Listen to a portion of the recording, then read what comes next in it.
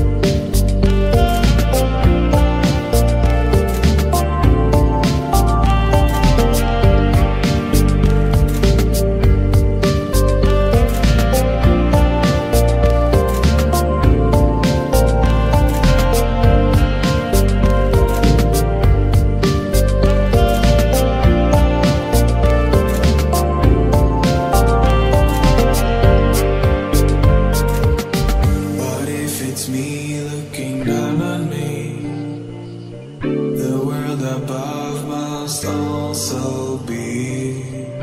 This could go on for